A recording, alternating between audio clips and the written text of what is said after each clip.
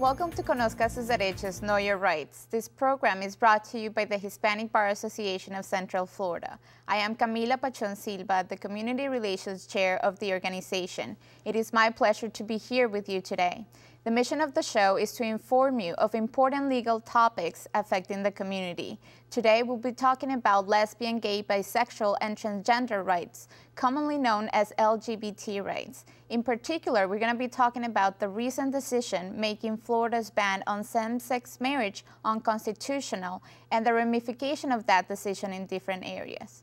Our intention is not to discuss a political opinion, but rather to simply inform the community of relevant topics that affect us all in a non-biased approach. I am very honored to have very competent speakers with, with us here today. First, we have Ms. Mary Meeks, Orlando Civil Rights Attorney. Welcome, and thank you so much for being here with us today. Uh, can you please tell us a little bit more about yourself? Sure, and thank you for having me. I'm thrilled to be here today. Um, I've uh, been a civil rights lawyer in the Central Florida area for over 25 years.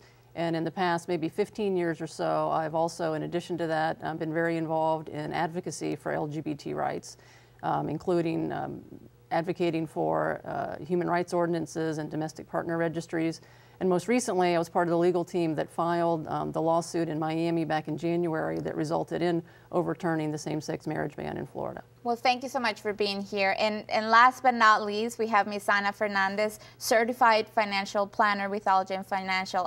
Ana, can you please introduce yourself to our audience? Yes, I've been a certified financial planner now for over 15 years, um, working with Algen Financial. And I've had the distinct pleasure of doing what I love. And what I love is helping families and individuals plan, save, invest, and be financially well.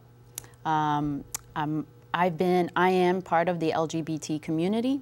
My partner and I have been together for 16 years, and it's a great pleasure to be here with you. Thank you, thank you. So I want to start with from the very beginning with the demographic, the, with the numbers. Um, how large is the LGBT community here in Florida, Mary?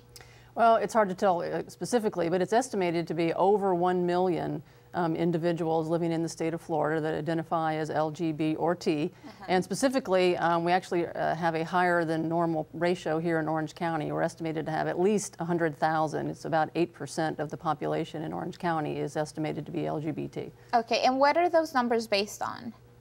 They're based on uh, census okay. uh, polls and other you know, government documents from the county, et cetera, that actually people fill out themselves. So it's actually tended to be underreported because okay. Um, there are still some people who um, don't openly choose to identify as LGBT. Okay, so I know that the recent decision on January 6th, there's a lot of background, a lot of history, a lot of work that brought us here. So why don't you give us the story? Where were we? How did we get here? Well, I, what I call the kind of breakthrough moment for uh, marriage equality in in the nation and eventually here in Florida was the United States Supreme Court decision in the Windsor case. Edie Windsor was the, the plaintiff, which struck down the Defense of Marriage Act, DOMA. Mm -hmm. And that case um, related to federal rights, so the court made a decision that it was unconstitutional for the federal government to pass a law that actually said that they could not recognize same-sex marriages and therefore denied to validly married same-sex couples over 1,200 federally um, advanced rights, benefits, and protections. So that was kind of a watershed moment. Number one, at the time of that decision, there were only eight states in the country um, that allowed same-sex marriage.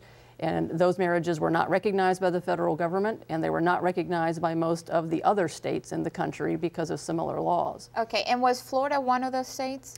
Florida was one of over 30 states that at the time of that decision, which was in June of 2013, that had either a constitutional or a statutory prohibition that made it illegal um, for same-sex couples to marry or for that state to recognize um, same-sex marriages from other states. Okay. So the Windsor decision did not specifically change that. Um, it did make it possible for couples married in other states, such as my wife and I, um, to gain the benefit of at least some of those federal rights and benefits. But what it did do was lay the, the precedential legal groundwork mm -hmm. for um, lawyers all over the country to bring challenges in all of those 30 plus states challenging those state uh, same-sex marriage bans. And eventually that's what happened here in Florida. Okay, so how do we go from that federal level to the state level? uh, here in Florida. How, how did we change that ban at the local level? Um, well, we started, first of all, we, uh, Florida historically, the courts in Florida have historically, unfortunately, not been very um, favorable to LGBT okay. rights.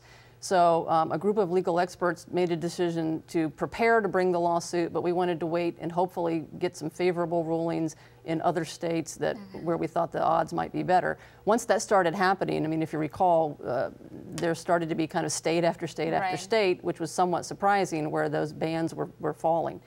Um, so in January of 2014, and that was only six months after the Windsor decision, in Florida, we decided it was time, um, and so we filed the lawsuit. Uh, the, the, very first one was in state court down in Miami, okay. uh, making basically the same argument that the, a state law banning same-sex marriages was in violation of the federal constitutional guarantees of equal protection and due process. Okay, and when you say we brought that lawsuit, who do you mean, who you're referring to? Sure.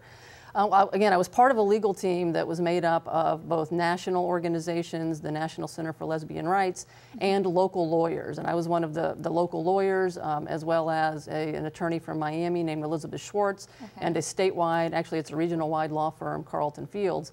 And we represented um, six plaintiff couples. So we had three female couples and three male couples um, all very diverse. Um, almost all of them had children or even grandchildren. Some of them had been together for, for decades. Some of them had just gotten engaged. Um, so those were the six kind of core plaintiff couples that we were representing, but obviously representing all same-sex couples in the state who wanted to marry or have their marriages be recognized. Okay, so were these plaintiffs strategically chosen for this lawsuit? Well, we did a statewide search. Obviously, we needed people who were willing to invest um, their time and their energies and their emotions and make, and make themselves and their families be public. And obviously, we wanted to have uh, couples and families, you know, who would present well, um, not just to the court, but publicly. And we found really an amazing group of people.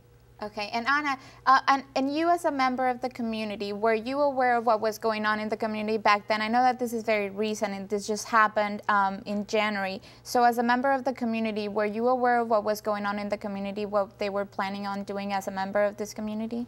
Actually, um, in in some respects, yes, but not to the degree that Mary had spoken about. You know, I didn't know the details of it. But obviously, this has been going on for many years, and in terms of the right to marry. So no, not to the not in great detail, but definitely there's been a lot of support and um, advocacy towards and excitement that. in the community. Oh, for sure. So okay, so then you bring this lawsuit, and then what happens next? What's the next step?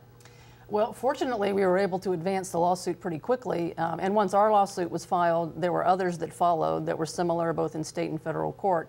And our judge in our case ruled in July, and that's actually um, pretty quick in legal terms from January yeah. to July, issued the ruling um, saying that the Florida same sex marriage ban was unconstitutional. And over the course of a month or so, there were actually five, no less than five separate rulings in federal and state court that made that same ruling. Um, as is often the case, um, those decisions were appealed by the state, by the Attorney General of Florida. And in each of those cases, the judges entered a stay which means although they had ruled in favor of marriage equality, they were delaying implementation of the decision pending appeals of those decisions to higher courts. Um, we kind of went through a lot of crazy stuff here in Florida um, that I won't get into the specifics. It was pretty fascinating. But eventually, uh, one of those judges, the federal judge, uh, Judge Hinkle, he had put a time limit on his stay okay. that it would expire unless a higher court extended the stay longer. And the state tried to make that happen, uh, but both the 11th Circuit Court of Appeals and the United States Supreme Court refused to extend the stay. And so that's when you mentioned the date of January 6th, that is the day that that court's stay expired. And therefore, his decision making the ban unconstitutional went into effect, and people statewide were then able to go get licenses and get married, even though the decision is still under appeal. Okay, so what happened was the stay expired, and because it expired, it just happened to have expired on January 6th, and that's why starting January 6th, then gay couples were allowed to, to get married, correct? Exactly. Okay. So it's, it's kind of a un, somewhat unusual situation Backwards. in that the legal process has not completed. Those appeals are still in process. Um, hopefully they won't be reversed, but they could be. But beginning January 6th, obviously, same-sex couples across the state of Florida have been getting married. Okay, so very briefly, uh, in a minute or so, what what is going to be the next step? You said so. The stay expires. Gay gay couples are allowed to get married now, but that is not permanent. That's not definite. So what's next? It's not permanent yet, but um, we now know that the, the, United States Supreme Court has accepted review of this issue. So in uh, but probably around the end of June, they're going to issue a decision. Um, there's very a lot of possibilities of what they could rule. Hopefully, what most people seem to think they're going to do um, is to affirm all of those court decisions across the country, including here in Florida, that will make marriage equality um, nationwide. Okay. Um, they could rule in various other ways that could have a lot of um, kind of chaotic and, and tricky and confusing consequences for folks in Florida as well as other states. Okay, so the decision, whatever happens when the Supreme Court reviews this decision, is going to lead to some uniformity correct? Well, if the court rules in favor of marriage equality, then, then that would lead to nationwide uniformity. Um, one of the real great fears and concerns is if they don't, if the court rules that individual states can ban same sex marriage, um, that will lead to increasing non uniformity you will have states um, that, that currently don't have marriage equality that will be allowed to stay that way. You will even perhaps have states that currently have marriage equality okay. that will, can go back and ban it or reban it. Okay. So it will be complete and utter, I, I, believe, legal chaos if the court does that. Um, that is a possibility, but we hope that won't happen. Okay. Well, we need to take a little break. Um, but we're going to come back and we're going to continue discussing some of the financial ramifications of this decision when it comes to the gay community. We'll be right back.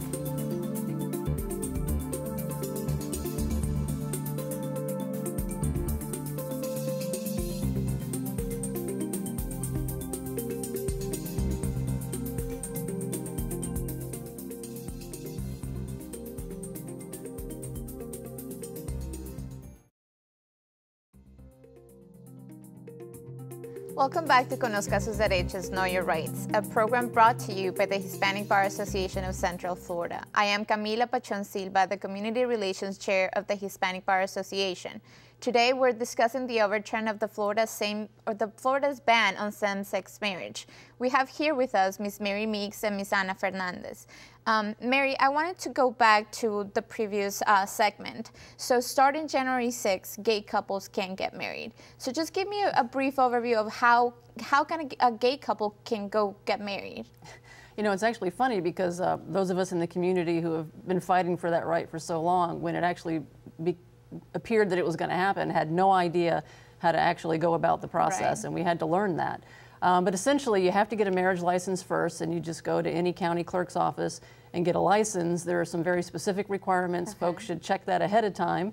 Um, there's generally a three-day waiting period once you get the license before you can get married, unless you do some other things that, that could waive the three-day waiting period. And once you get the license, um, you have a 60-day period to have it um, to, to engage in the ceremony that's required by Florida law. Um, only certain people can perform the ceremony. Um, I recently had a, a, couple friends who didn't know that, and okay. uh, so people should know that. It has to be ordained clergy or a notary public. Um, fortunately, because I am a notary public, I've been able to marry some folks, which, oh, is, which has been very fun and exciting. That's exciting. Okay, so now let's talk to you, uh, Ana. So now they're married. Uh, how has that changed your job uh, as a certified financial planner? Well, excellent question. Let me just give you a, a, a quick background. Um, as a as a certified financial planner, I'm a generalist. So similar to like a doctor. I'm a general practitioner and I partner and collaborate with the other advisors and some key advisors with all families, whether they're uh, LGBT or traditional, doesn't matter. You still want to collaborate. And so we want to collaborate with the estate planning attorneys, and we want to collaborate, generally speaking, with the CPA or the tax advisor. Okay. So what that, eh, so now we start looking at all the various issues that now are exciting for a lot of the LGBT. And we'll start off with just the basics. Let's talk about health care. For a lot of folks, they didn't have health care insurance. And so now you can uh, actually be, uh, because you're considered a spouse, now you can be on your spouse um, health insurance through their employer, your spouse's employer, and so now you have health insurance. That's a huge difference.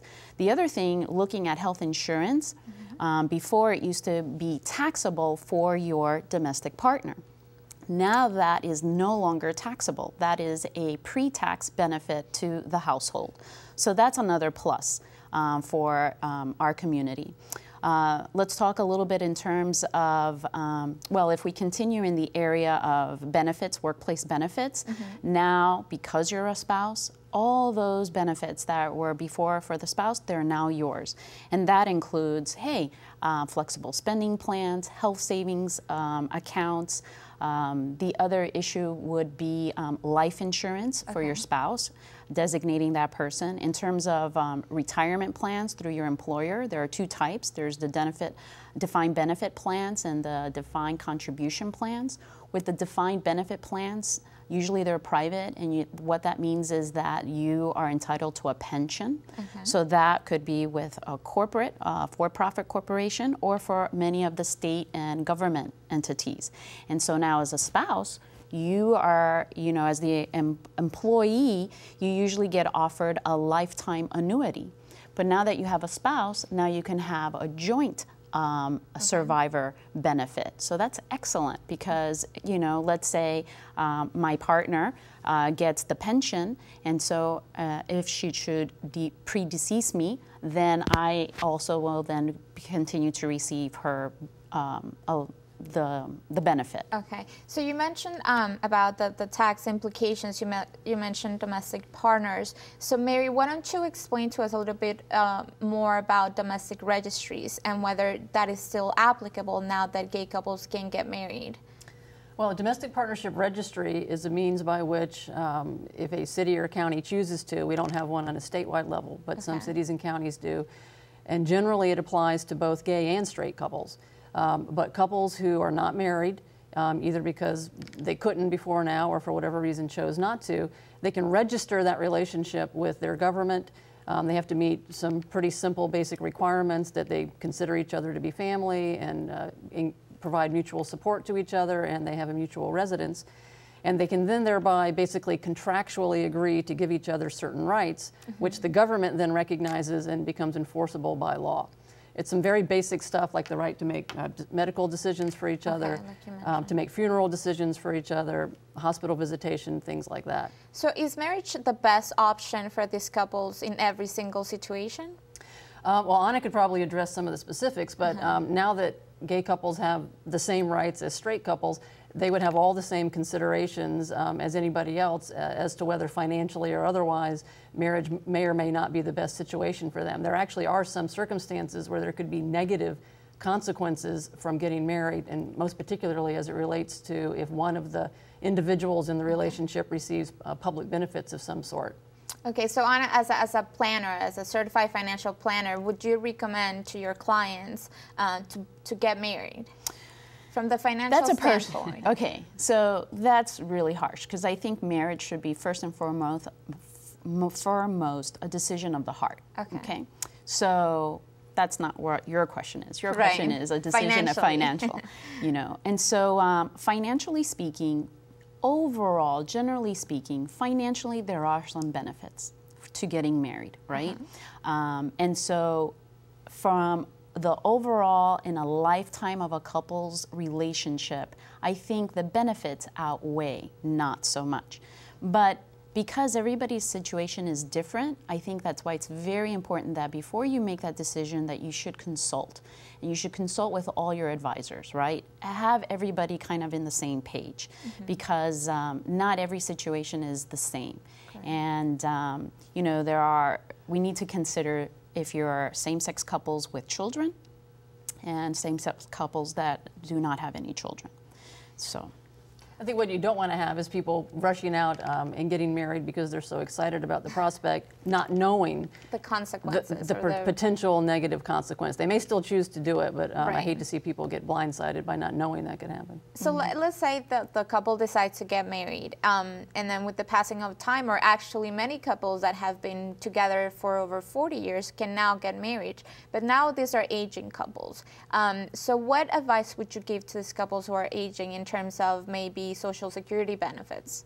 Oh, there. This is this is one of those pluses for uh, all of us, um, because now, for instance, in Florida, it is recognized, and so we are also. Um, now we have the benefit of receiving our spouse's um, Social Security benefits. Mm-hmm. So perhaps, let's say one, one spouse decided to stay home and raise the family um, and so didn't really fulfill all their, their working term for their Social Security benefits. But now that person can tap into their spouse's working record for benefits, as well as uh, in terms of a spousal benefit while they're alive, both spouses are alive, and also in terms of a survivor benefit once their spouse um, passes on. Okay, and talking about Social Security, um, I read that there were some issues when the when the change went into effect about the Social Security office giving Social Security new Social Security numbers or cards to couples under their married name. Can you expand a little bit on that, Mary? Yeah, it had to do with the name. So when okay. you get married, obviously, um, you can change your name if you wish to, although you don't have to. And um, when folks were able to start getting married in Florida, there were a lot of people who wanted to do that. And the way you do that is you take your marriage license and you go to the Social Security, Social Security office and they give you a new card with your new married name on it. And for a while, we had a very strange situation here in. Florida where they were refusing to do that to folks who had gotten married in Florida, although they were performing that service for folks who had gotten married in other states. Okay. Uh, fortunately, and largely thanks to um, the intervention of Congressman Grayson, that issue did get resolved. But for a couple of weeks, they were rejecting people who went to the uh-huh. SSA to get their new cards. Are we seeing any compliance issues besides that here locally? Um, I'm not sure about locally. I, I have heard reports um, since January 6th. For example, there are some hospitals that have refused to issue uh, birth certificates to both of both same-sex parents um, and other issues like that. I think largely those are being worked out. We, we still, I think, have the issue of some clerk's offices that have chosen not to issue marriage licenses or not to allow weddings or uh, perform weddings at all in those offices because they don't want to perform same-sex weddings. Um, I think those are largely going to be worked out over time with education and perhaps some lawsuits. But there have been some hiccups, and I think there will continue to be issues because you're still going to have people out there who, despite what a judge may have said are just not going to want to do it. Right. It won't change their personal bias, unfortunately. But we have a number of lawyers on standby uh, okay. who will voluntarily address those issues as they as they come up. Okay. So, Anna, um, Mary mentioned about children of the marriage. So this change is going to make some of these children children that are are born into a marriage. How does that change when it comes to their financial planning? Well, that gets a little complicated. Okay. um, only in the sense of how these children came to uh, into the the households because it all depends. Uh, we're dealing with either biological children or adopted children and stuff. But for the most part, um, you know, there, this is when you want to consult because there's a lot of issues here. So the pluses are that now um, the children, you know, um, they're part of uh, a joint tax return. Okay. So now in that joint tax return, we are eligible for a lot of the child tax credit, credits okay. and deductions that are typical.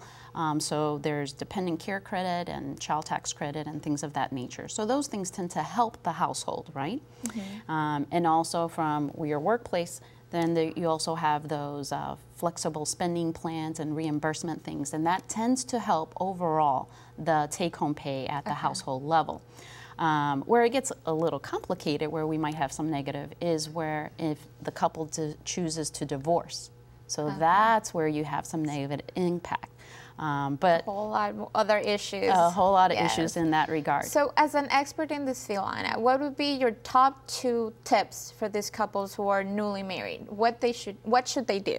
I think the first and foremost thing is that they need to probably visit an estate planning attorney, okay? okay. Because one of the things that you want to do is you want to make sure that accounts are titled correctly. Okay. And your beneficiary information uh, is titled, um, are updated. Okay. And that could be from um, uh, by contract, so it could be retirement accounts, it could be um, life insurance contracts, whether they be group uh, life insurance or individual uh, insurance. So I think that's probably the first thing, and then visit your tax advisor. Okay, well, thank you both for being with us and informing the community on these important issues. Uh, unfortunately, we are running out of time.